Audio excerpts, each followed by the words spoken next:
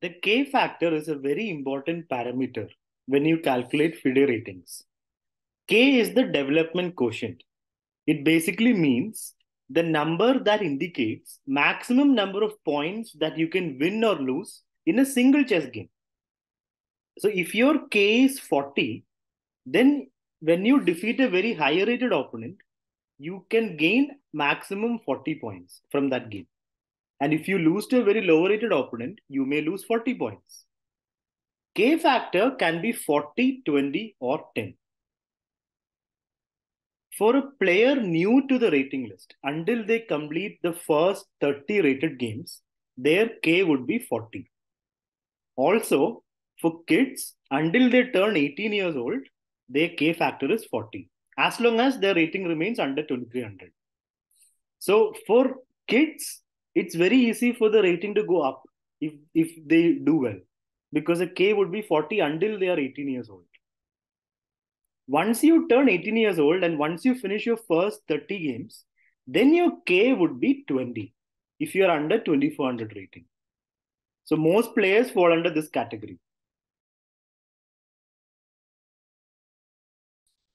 Once you reach 2400 rating, then your K would be 10. And even if you fall below 2400 after reaching 2400, you will still have a K factor of 10. Now you might think, what is the point of all these K factors? What is the significance of 40, 20, and 10? To give you an idea, my rating, let's say my rating is 1500. And if I play a player of my same rating, 1500 rating, and if I defeat that player, then as my K factor is 20, I will get 10 points for defeating that player of the same level. If I lose to a lower rated player, a very low rated player, I will lose 20 points. And if I defeat a very high rated player, I will get 20 points. So that is the significance of the K factor the higher your K factor, so if your K factor is 40, then you will get more points when you win games and you will lose more points when you lose games. So it will be very unstable.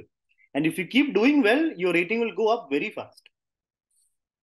If your K is 20, which is uh, most of our K, K factor, then we basically get very um, average points, 10 around 10 points for every win, depending on your opponent's rating, of course. And once you cross 2400, your K would be 10. So it will be very less number of points for each win or loss.